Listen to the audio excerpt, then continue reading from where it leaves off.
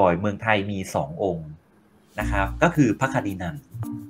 มีพระคาร์ดินัลไมเคิลมีชัยกิจบุญชู พระคาร์ดินัลองค์แรก ชาวไทยองค์แรก แล้วก็พระคาร์ดินัลฟรังซิสเซเวียร์เกรียงศักดิ์โกวิทวานิชเป็นพระคาร์ดินัลชาวไทยองค์ที่สองพระคาร์ดินัลเนี่ยไม่ใช่ศักดิ์สงฆ์แต่เป็นสมณศักดิ์เหมือนจะบอกว่าเป็นชื่ออการให้เกียรตินะครับ เพราะว่าหน้าที่ของพระคาร์ดินัลจริง ๆ เนี่ยไม่ใช่ทุกประเทศต้องมีพระคดีนันนะอันนี้หนึ่ง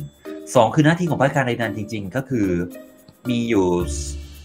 สองสาอย่างหลักๆ คือหนึ่งเป็นที่ปรึกษาของสมเด็จพระสันตะปาปาสองก็คือ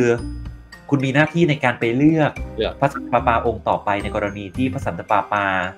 สิ้นพระชนหรือว่าลาออกจากตำแหน่งเนี่ยเป็นเป็นเป็นเจ้าชาย คือเขาเขาเรียกเหมือนเป็นเจ้าชายของพระศาสนาสากลหรือว่าเป็น Prince of Rome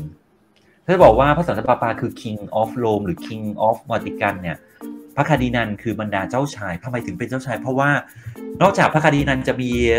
หน้าที่มีสิทธิ์ในการไปเลือกตั้งพระสันตะปาปาองค์ต่อไปแล้ว พวกท่านเหล่านั้นก็มีสิทธิ์ที่จะได้รับเลือกเป็นพระสันตะปาปาด้วยเช่นเดียวกัน แต่ผู้ที่จะไปเลือกเนี่ยจะต้องมีอายุไม่เกิน 80ปีนะครับ อย่างเช่นสมมติ ตอนนี้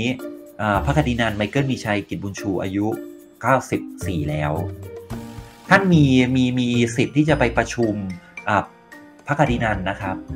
แต่ท่านจะไม่มีสิทธิ์เข้าไปเลือกตั้งพระสันตะปาปาแล้ว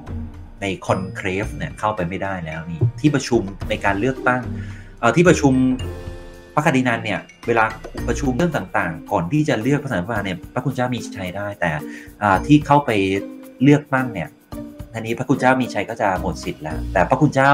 เกรงศักดิ์อายุท่าน 74 ปี ตอนนี้ก็ยังมีสิทธิ์ที่จะเข้าไปเลือกตั้งได้